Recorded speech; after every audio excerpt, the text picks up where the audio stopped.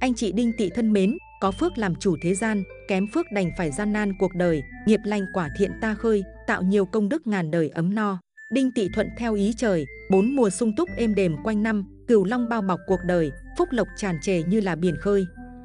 Hoan hỉ chào đón quý cô bác anh chị Đinh Tị đến với kênh Minh Đường Tử Vi. Ngày hôm nay, Minh Đường Tử Vi nguyện cho quý cô bác anh chị có một ngày nhận được thật nhiều phước lành, sống đời bình an, hạnh phúc viên mãn. Minh Đường Tử Vi rất lấy làm biết ơn khi được gặp lại quý cô bác anh chị. Thưa quý cô bác anh chị Đinh Tị, có một vị thiền sư hỏi sư phụ.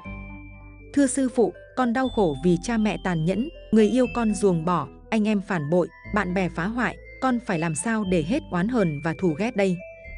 Vị sư phụ đáp, con ngồi xuống tịnh tâm tha thứ hết cho họ. Vài hôm sau người đệ tử trở lại, con đã học được tha thứ cho họ sư phụ ạ. Thật nhẹ cả người, coi như xong. Sư phụ đáp, chưa xong. Con về tịnh tâm mở hết lòng ra thương yêu họ, người đệ tử gãi đầu, tha thứ thôi cũng đã quá khó, lại phải thương yêu họ, thì thôi được con sẽ làm. Một tuần sau người đệ tử trở lại, mặt vui vẻ hẳn, khoe với sư phụ là đã làm được việc thương những người mà trước đây đã từng đối xử tệ bạc với mình. Sư phụ gật gù, bảo tốt, bây giờ con về tịnh tâm ghi ơn họ, nếu không có họ đóng những vai trò đó, thì con đâu có cơ hội tiến hóa tâm linh như vậy. Người đệ tử trở lại lần này, tin tưởng rằng mình đã học xong bài và anh tuyên bố con đã học được và ghi ơn hết, mọi người đã cho con cơ hội học được sự tha thứ. Sư phụ cười, vậy thì con về tịnh tâm lại đi nhé. Họ đã đóng đúng vai trò của họ, chứ họ không có lỗi lầm gì mà con tha thứ hay không tha thứ. Quý cô bác anh chị Đinh Tị thân mến, tha thứ là cánh cửa để thoát ra khỏi sự thù hận, giúp cô bác anh chị sống đời an nhiên hơn. Minh Đường Tử Vi biết rằng có rất nhiều cô bác anh chị Đinh Tị đang theo dõi video, vẫn còn thù hận hay oán ghét một ai đó, vì họ đã làm tổn thương đến cô bác anh chị, thậm chí nhiều cô bác anh chị không thể tha thứ cho cả những người thân yêu trong gia đình mình. Thử hỏi nếu cô bác anh chị cứ ôm khư khư sự thù hận và oán ghét, xong rồi cuộc sống của cô bác anh chị liệu có trở nên tốt đẹp hơn không? Lẽ dĩ nhiên là không. Món nợ cô bác anh chị đang gánh cô bác anh chị vẫn phải gánh, những vấn đề trong cuộc sống cô bác anh chị đang đương đầu cô bác anh chị vẫn phải đương đầu. Sự vất vả cô độc tận tâm khảm cô bác anh chị đang chẳng biết chia sẻ cùng ai. Cô bác anh chị vẫn cứ phải đơn độc một mình chiến đấu, cuộc sống của cô bác anh chị nào có tốt đẹp hơn trước là bao. Dù trong giây lát cô bác anh chị có thể thỏa mãn được sự sân si khi thấy người mà cô bác anh chị oán hận gặp phải những chuyện ngoài ý muốn, nhưng mỗi người trong chúng ta đều có những góc khuất ở đâu đó trong thâm tâm của mình. Có người không thể kìm hãm được sự cám dỗ và buông thả theo nó. Nhưng có người lại học cách tha thứ tu tâm dưỡng tính để chuyển hóa nghiệp. Nghe đến đây chắc hẳn cô bác anh chị đang nghĩ rằng chúng ta chỉ là những con người nhỏ bé, không phải bậc thánh nhân làm sao có thể thoát khỏi những cám dỗ về tham sân si được. Quý cô bác anh chị Đinh Tị thân mến, Minh Đường Tử Vi không khuyên quý bản mệnh Đinh Tị phải sống như Bồ Tát, vì điều đó vượt xa khả năng của cô bác anh chị, bởi vì cuộc sống là những sự lựa chọn, dù cô bác anh chị có chọn lựa sống như thế nào đi chăng nữa, thì cô bác anh chị vẫn phải là người chịu trách nhiệm cho chính cuộc đời mình, không một ai có thể chịu trách nhiệm thay cho cô bác anh chị cả. Sống làm sao để trái tim và đầu óc luôn cảm thấy bình an và hạnh phúc là được, hãy để ý đến những điều có thể khiến cuộc đời cô bác anh chị trở nên tốt đẹp hơn. Còn những chuyện mà người khác có vô tình hay cố ý làm tổn thương bản mệnh đinh tị, thì cô bác anh chị hãy xem đó là một bài học cuộc đời, giúp đinh tị mạnh mẽ hơn để đương đầu với muôn trùng sóng gió ngoài kia. Cô bác anh chị đừng quá phiền lòng để oán ghét họ làm gì cho mệt người, bởi vì đời họ họ sống, lộc họ họ hưởng, mà nghiệp của họ thì họ tự gánh lấy vậy thôi. Minh Đường Tử Vi luôn ở đây để giúp đỡ và lắng nghe những câu chuyện của cô bác anh chị. Cô bác anh chị hãy đăng ký kênh và bình luận bên dưới video để gửi đến đội ngũ biên tập video một chút động lực giúp đời. Giúp người cô bác anh chị nhé. Minh Đường Tử Vi xin cảm ơn thiện tâm của cô bác anh chị. Ngay sau đây không để cô bác anh chị phải chờ lâu thêm nữa, Minh Đường Tử Vi sẽ đi vào nội dung chi tiết. Xin mời quý cô bác anh chị cùng lắng nghe. Thưa quý vị, người tuổi đinh tỵ có tính cách sâu sắc nội tâm, thường khá kín đáo và hướng nội. Họ thường tỏ ra trầm lắng và có thể hơi khó tiếp cận. Nhưng đó chính là phần của vẻ bí ẩn và nhanh nhẹn đặc trưng của con giáp này. Họ thường duy trì một sự ổn định trong tính cách. Điều này có thể được hiểu là sự lạnh nhạt. Họ thường rất quan sát và biết cách chờ đợi, không bốc đồng hay hấp tấp. Khi gặp vấn đề hoặc mâu thuẫn, họ thường chọn cách giữ im lặng, bình tĩnh và sau đó mới giải quyết vấn đề, tuy là hơi khó gần. Nhưng người tuổi đinh tỵ có nhiều ưu điểm đáng chú ý, họ có tinh thần ham học hỏi, cẩn thận, bình tĩnh và không dễ dàng bị chi phối bởi những tình huống khó khăn. Khả năng phán đoán sắc bén và lập luận logic của họ giúp họ nhanh chóng xác định nguyên nhân của các vấn đề. Một điều đặc biệt nữa là người tuổi đinh tỵ rất giỏi che giấu cảm xúc của mình, dù trong đang tức giận, họ vẫn biết cách kiềm chế và giữ cho mình. Người tuổi đinh tỵ bẩm sinh đã lôi cuốn và nổi tiếng, họ giống như thỏi nam châm thu hút sự chú ý của người khác về mình, không cách nào làm lơ họ, ít nhất tuổi đinh tỵ mong được bạn bè trong nhóm quan tâm và cộng đồng công nhận. Tuy vậy, con giáp này không hề ồn ào hay nói huỵch toẹt đầy ác ý, tác phong cư xử của họ cực tốt. Dù làm chuyện gì, họ cũng đều quyết tâm theo đuổi đến cùng không quản khó khăn gian khổ. Tuổi đinh tỵ không thích cảm giác bị bỏ rơi, họ ra quyết định vừa nhanh chóng lại vừa quyết đoán. Tiếp theo là vận trình tổng quan 4 phương diện người tuổi đinh tỵ 1977 trong tháng 11 âm lịch năm 2023. Tử vi tuổi đinh tỵ, tháng 11 âm lịch thuộc tiết đại tuyết, nguyệt lệnh chủ thủy, sau đại tuyết 10 ngày nhâm, 20 ngày quý. Tuổi đinh tỵ tháng này có địa chi gặp kiếp sát, song nhờ các thần sát may mắn như tử vi, thiên đức hỗ trợ mà giảm thiểu bất hung hiểm cho con giáp này. Sự nghiệp có sao thiên ấn, bên cạnh đó cần đề phòng mất lộc do có tứ phế, hắn tán chiếu mệnh, dù lộc thần nâng đỡ nhưng bản mệnh vẫn bị hao hụt khá nhiều. Tháng 11 âm lịch này có thể sẽ là khoảng thời gian đầy rẫy khó khăn đối với người tuổi đinh tỵ. Bạn cần phải xác định tinh thần cho mình để không đầu hàng trước nghịch cảnh, khiến những công lao trước đó của mình đổ sông đổ bể. Trên phương diện sự nghiệp, dưới tác động của cục diện nguyệt lệnh lâm tuyệt, bản mệnh dễ lạc mất phương hướng của mình, công việc bề bộn có thể khiến bạn cảm thấy bối rối, không biết làm việc gì trước, việc gì sau. Có một số người cảm thấy bất mãn với hoàn cảnh hiện tại của mình, nên dễ có những suy nghĩ muốn từ bỏ, để mọi việc được đến đâu thì đến. Phương diện tài lộc cũng không xuất hiện điểm sáng trong thời gian này, bạn phải đối diện với sự cạnh tranh, giành giật khách hàng của đối thủ. Nếu chưa tìm được chỗ đứng trên thị trường, bạn dễ rơi vào cảnh bế tắc, chậm chân, khiến doanh thu có dấu hiệu sụt giảm. Tử vi tháng 11 năm 2023 âm lịch thấy rằng đây là dấu hiệu chứng tỏ bạn cần phải tìm ra hướng đi mới cho mình, không thể tiếp tục đi theo hướng thiếu hiệu quả được nữa. Chuyện tình cảm cũng có nhiều trắc trở khi quan hệ vợ chồng thường xuyên xảy ra mâu thuẫn, cãi vã, bản mệnh không nên chút những cơn giận của mình lên đầu người ấy. Nếu bạn cảm thấy quá áp lực trong công việc, bạn nên tâm sự với người ấy để thấy nhẹ nhõm hơn. Rất có thể, đối phương sẽ nhìn nhận thấy những điều bạn bỏ qua và đưa cho bạn những lời khuyên giá trị. Về phương diện sự nghiệp, xem tử vi tháng 11 năm 2023 âm lịch thấy nhiều vấn đề sẽ liên tiếp xuất hiện trong sự nghiệp của người tuổi đinh tỵ. Tháng 11 này là khoảng thời gian mà bạn thường xuyên phải chịu thách thức, khiến tinh thần căng thẳng. Tuy nhiên, nếu nhìn theo hướng tích cực thì đây là cơ hội để bạn rèn luyện bản thân, thậm chí tìm ra điểm mạnh của mình. Nguyệt lệnh lâm tuyệt đem tới nhiều ảnh hưởng tiêu cực cho bản mệnh, bạn có thể cảm thấy khối lượng công việc của mình tăng lên đáng kể. Công việc ngập đầu ngập cổ khiến bạn không có thời gian nghỉ ngơi, thậm chí cảm thấy căng thẳng, stress. Con giáp này nên học cách lên kế hoạch làm việc khoa học, như vậy thì bạn có thể giải quyết từng công việc một cách tuần tự mà không thấy bối rối, lạc mất phương hướng của mình. Bên cạnh đó, bạn không nhất thiết phải cố gắng làm mọi việc một mình. Nếu cảm thấy nhiệm vụ quá sức, bạn có thể nhờ đến sự giúp đỡ của mọi người xung quanh. Khi khó khăn xuất hiện, bạn chớ vội nghĩ đến việc bỏ cuộc, bởi từ bỏ sẽ khiến công lao từ trước đến nay của bạn trở thành uổng phí. Trong bất kỳ tình huống nào, bạn cũng hãy cổ vũ bản thân tiến về phía trước, bạn cũng chớ nên quá bi quan trong tình hình hiện tại, bởi có những thời điểm bạn sẽ được các tinh tử vi chiếu mệnh. Quý nhân có thể bất ngờ xuất hiện chỉ cho bạn một hướng đi, hãy luôn tập trung chú ý và khiêm tốn lắng nghe, bạn sẽ nhìn thấy ánh sáng cuối đường hầm. Về phương diện tài lộc, người tuổi đinh tỵ cần xác định tinh thần rằng túi tiền của bạn sẽ khó có thể dùng dình được trong khoảng thời gian này. Nhiều yếu tố tiêu cực xuất hiện liên tiếp khiến bạn phải sứt đầu mẻ chán ứng phó, thậm chí tiền bạc không bị thất thoát đã là may. Do chịu ảnh hưởng của cục diện nguyệt lệnh lâm tuyệt, bản mệnh phải đối diện với sự cạnh tranh gai gắt đến từ đối thủ. Người khác có thể dở trò chơi xấu, khiến các kế hoạch của bạn chẳng thể tiến triển thuận lợi như dự kiến. Bạn tốt nhất cần chuẩn bị kế hoạch dự phòng cho mọi biến động, để đến lúc sự cố xảy ra thì không đến nỗi rơi vào cảnh bất ngờ, bị động.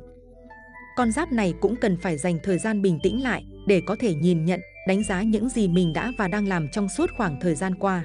Hãy tìm ra điểm mạnh của mình để có thể phát huy đúng lúc, đúng chỗ, như vậy bạn mới không phải lo lắng mình sẽ trở nên lép vế so với đối thủ. Với người làm công ăn lương, bạn khó gặt hái được thành tích tốt trong công việc nên các khoản lương, thưởng gần như là không có. Duy chỉ có khoản lương cứng hàng tháng, bạn nên chú ý chi tiêu tiết kiệm hơn, tránh xa hoa lãng phí mà rơi vào cảnh cháy túi.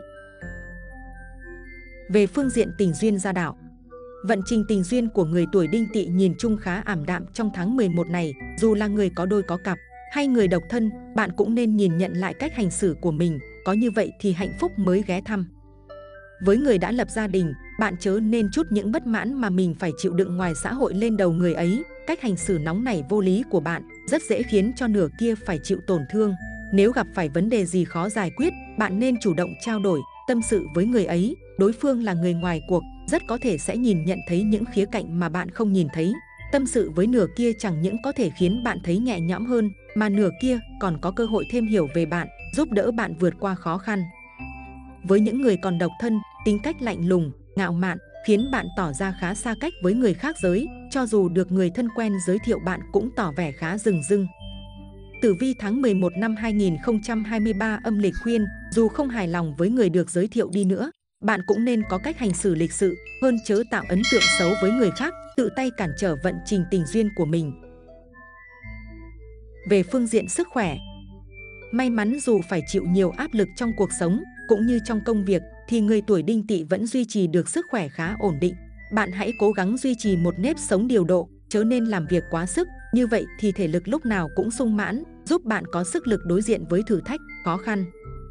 Khi cảm thấy bản thân căng thẳng quá mức, bạn nên đứng dậy thư giãn, hít thở sâu, nếu sắp xếp được thời gian, đừng ngại cùng bạn bè, người thân ra ngoài tận hưởng bầu không khí, như vậy bạn sẽ cảm thấy nhẹ nhõm hơn nhiều, đồng thời các mối quan hệ cũng sẽ được gắn kết. Trước khi đến với phần vận trình tử vi chi tiết theo từng tuần và hóa giải hung cát cho quý mệnh chủ, Minh Đường Tử Vi xin mời quý vị đến với điều đại cấm kỵ với người tuổi đinh tỵ 1977 trong tháng 11 này nếu muốn tài lộc ngưng tụ, sự nghiệp hanh thông. Đối với khách hàng, lựa chọn mua nhà mặt đất, hướng nhà được tính theo hướng cửa chính. Tuy nhiên, với khách hàng mua nhà chung cư, hướng ban công chính được tính là hướng của căn nhà. Vậy hướng nhà tuổi đinh tỵ 1977 hay hướng ban công phù hợp tuổi đinh tỵ 1977 cần lưu ý điều gì? Dưới đây sẽ là những thông tin chi tiết để gia chủ tham khảo. Đối với nữ chủ tuổi đinh tỵ 1977, các hướng xây nhà phù hợp bao gồm Hướng Nam, Diên Niên, hướng nhà giúp gia chủ ổn định sự nghiệp, con đường làm ăn phát triển, công thành danh toại, có nhiều cơ hội thăng tiến. Hướng Bắc, phục vị, đây là hướng nhà giúp nữ chủ nhân nhận được sự giúp đỡ từ mọi người xung quanh, đặc biệt từ gia đình, bạn bè, cả về vật chất và cả tinh thần. Hướng Đông Nam, sinh khí, hướng mang ý nghĩa đặc biệt về con đường công danh sự nghiệp, giúp chủ nhân nhận phúc lộc đủ đầy, kinh doanh thuận lợi, có nhiều cơ hội tham quan tiến chức, làm nên sự nghiệp lớn, được nhiều người ngưỡng mộ. Hướng Đông, thiên y, trong phong thủy, đây được coi là hướng của thiên thời, địa lợi, nhân hòa, có lợi cho sức khỏe của gia chủ, hướng nhà này giúp gia chủ tránh khỏi nhiều bệnh tật, hưởng phúc về già. Đối với gia chủ nam tuổi đinh tỵ 1977, hướng nhà hợp tuổi bao gồm Hướng Tây, Thiên Y, lựa chọn hướng này có thể giúp gia chủ đón nhận nhiều cơ hội mới, vượt qua bệnh tật khó khăn, đồng thời gia tăng vượng khí giúp sức khỏe dồi dào. Hướng Tây Nam, Phục vị, đây là hướng cầu may mắn, bình an cho nam chủ, theo đó gia chủ nam sinh năm 1977, khi xây nhà hướng này sẽ nhận được sự tương trợ, giúp đỡ từ mọi người xung quanh. Hướng Tây Bắc, Diên Niên, đây là hướng nhà phù hợp nếu gia chủ hướng đến phát triển công việc ổn định, gia đình thuận hòa, bình an, hạnh phúc. Hướng Đông Bắc, sinh khí, hướng nhà cầu phúc lộc, an khang, thịnh vượng, giúp gia chủ phát tài phát lộc, kinh doanh thành đạt, công việc thăng tiến trong tương lai. Ngoài ra, để sinh khí, năng lượng cho bản thân và gia đình luôn dồi dào, tích cực, dưới đây là các hướng xây nhà mà nữ chủ và nam chủ tuổi đinh tỵ 1977 cần tránh. Hướng nhà gia chủ nữ cần tránh, hướng Đông Bắc, hướng Tây Bắc, hướng Tây, hướng Tây Nam. Hướng nhà gia chủ nam cần tránh, hướng Bắc, hướng Nam, hướng Đông, hướng Đông Nam. Tử vi từng tuần tuổi đinh tỵ 1977 trong tháng 11 âm lịch năm 2023. Tử vi tuần 1, tuổi đinh tỵ, tháng 11 âm lịch 2023.